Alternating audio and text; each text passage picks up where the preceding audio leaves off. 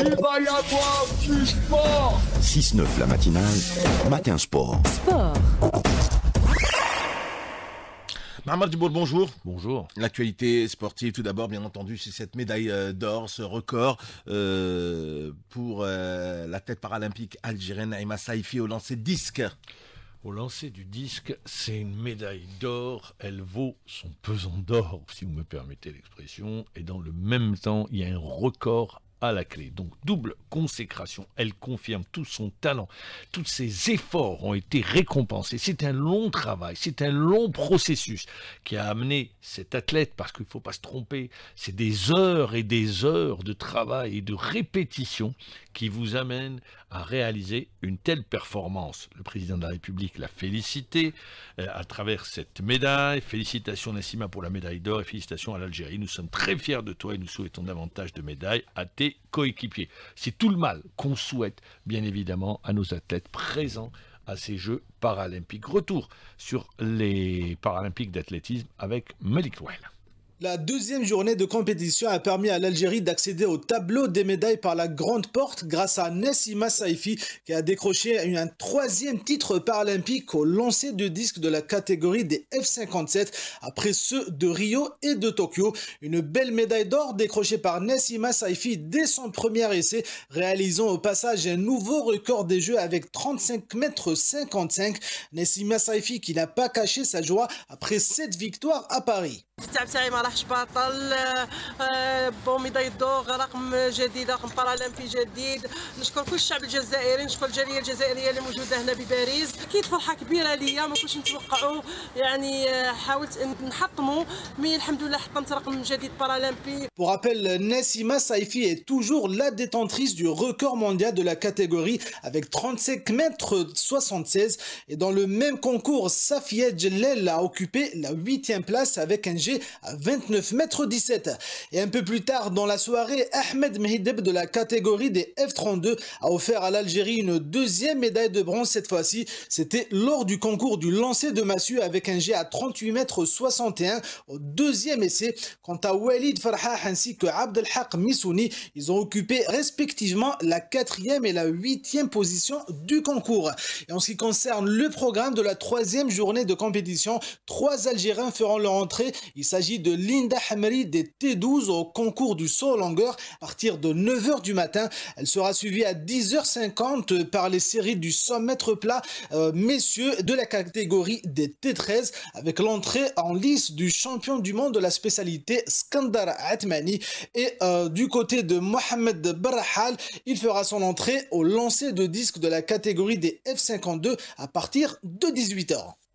Voilà pour le programme complet pour concernant nos représentants.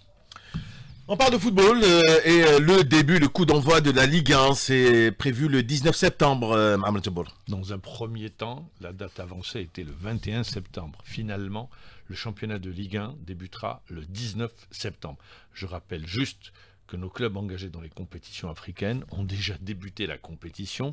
Le CRB et le Mouloudia d'Alger se sont qualifiés pour le prochain tour, ainsi que le CSC en Coupe de la Confédération africaine de football. Et l'USMA d'Alger fera son entrée sur ce deuxième tour. Les rencontres se joueront les premiers matchs aller entre le 15 et le 16 septembre, le 14 et le 15 septembre. Voilà donc concernant nos euh, clubs. Le CRB, par exemple, a décidé de partir en Tunisie pour encore affiner sa préparation. C'est le cas également du Moudia d'Alger qui doit se déplacer dans les tout prochains jours pour préparer son match contre Monastir. Les équipes ont décidé, beaucoup d'équipes ont décidé d'aller se préparer à l'étranger. D'autres ont choisi l'Algérie et notamment Tijda. Coup d'envoi, on verra d'ici là le 19 septembre. Il reste encore 14 jours pour affiner leur préparation. Il y a eu un mouvement également. Les grosses écuries ont recruté. On verra si le recrutement a été judicieux ou pas. Et les ambitions sont affichées pour les grosses écuries. En revanche, pour d'autres, on découvrira des équipes telles que Arbou qui a accédé dans ce championnat de Ligue 1 pour la première fois de son histoire. On verra le comportement également d'une équipe telle que la JS Saoura, le MCO qui a décidé d'aller se préparer en Turquie tout à fait intéressant. La JSK qui a choisi également la Turquie pour se préparer pour le prochain championnat d'Afrique euh, pour le prochain championnat national. Pourquoi le championnat d'Afrique? Puisqu'il va y avoir un match jeudi qui mettra l'Algérie aux prises avec la Guinée équatoriale. Dernière confrontation, elle remonte 2021 et l'Algérie avait connu sa première défaite après plus de 30 matchs sans défaite. C'était l'ère Belmadi. La Guinée équatoriale nous avait battu un but à zéro. Donc match ce jeudi c'est un adversaire qu'il faut surtout pas sous-estimer. L'entraîneur national a donné une liste, vous le savez très bien, retour de Mahrez. Alors il y a un joueur qui a atterri, Farsi, qui évolue aux États-Unis. C'est pas une découverte, il a évolué dans le championnat national à Aïnmi, là, il avait joué.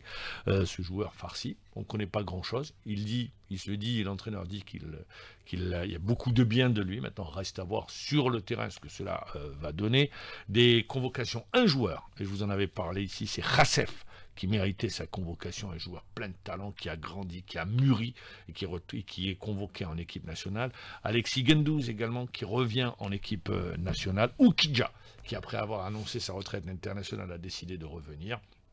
Un, mouvement, on l'a vu hein, au sein de cette équipe.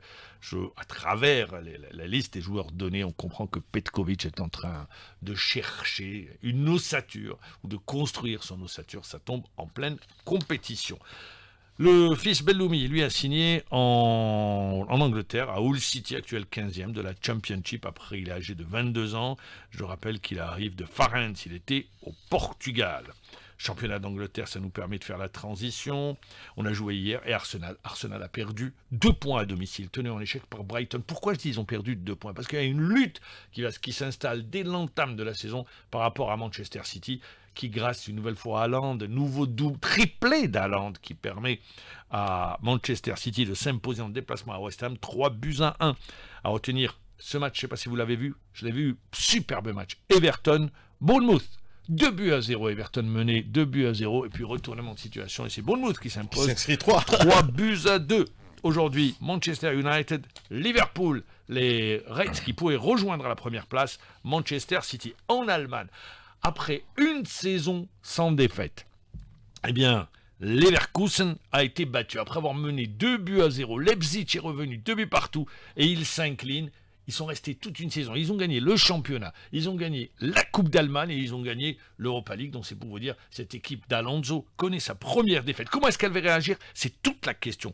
Aujourd'hui, il y aura le Bayern de Munich face à Fribourg. Je rappelle qu'avec le Borussia Dortmund, Betsebaini a joué, il est rentré en seconde mi-temps, 0-0 pour le Borussia Dortmund, et Shaibi Fers, qui lui n'a pas été retenu par Petkovic, a fait son entrée dans les dix dernières minutes. Son club, les Frankfurt, a battu Hoffenheim, 3 buts à 1.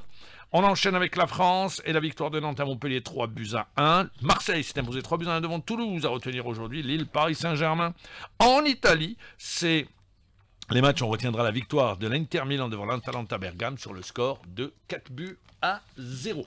Voilà pour l'essentiel. Juste Formule 1. Euh, la Formule 1. Italie, Monza. Pour la, eh bien, on attendait les Ferrari. Finalement, deuxième pole position de suite, de, de suite pour Norris. En revanche, Verstappen, ça va très mal. Il débutera, il partira en septième position. Il dit avoir des difficultés avec sa voiture. Ah oui, c'est avec, sa voiture. C'est pour vous dire que c'est la, la compétition est complètement relancée. Merci, on suivra le Grand Prix, bien entendu. Juste un mot de l'US Open. Tous les vainqueurs de Grand Chelem ont été éliminés. Donc, pour vous dire. Et ça marque. ça laisse des traces. C'est Sinner, l'Italien, qui est bien parti, qui est en pole position pour remporter ce tournoi du Grand Chelem. À retenir également que Medvedev s'est qualifié aisément. Merci Mahmoud Djabour. 7h, euh, pratiquement 30 minutes.